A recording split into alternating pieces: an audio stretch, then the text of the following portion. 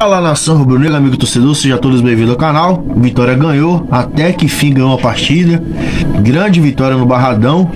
Foi um jogo meio duro, mas o Vitória ganhou com um gol chorado de cabeça, com falha do goleiro do adversário. Mas o Vitória foi lá e fez o gol. Resultado muito importante mesmo, o Vitória conseguir uma arrancada e quem sabe aí sonhar com a vaga na Série B.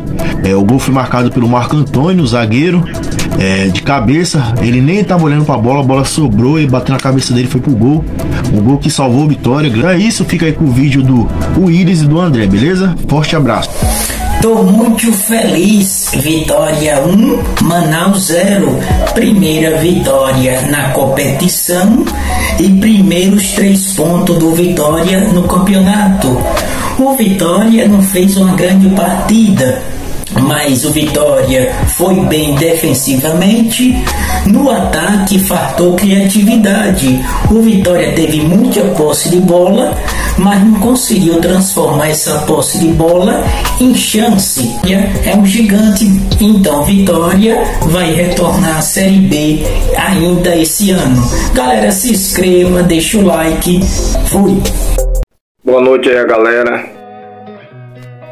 Vim falar aqui do jogo Vitória de Manaus.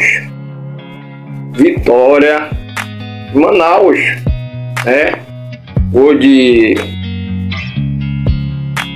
Marco Antônio, né? Gostei da postura do time, entendeu? O time não foi covarde, o time partiu para cima, entendeu? E é assim que tem que ser.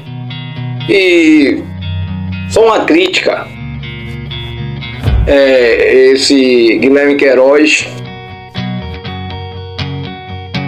Eu não sei quem disse a ele que ele é bom jogador. Patrocinador também, Carlos Barbosa, viu? Patrocinador aqui também do canal. Se inscreve no canal do rapaz, viu?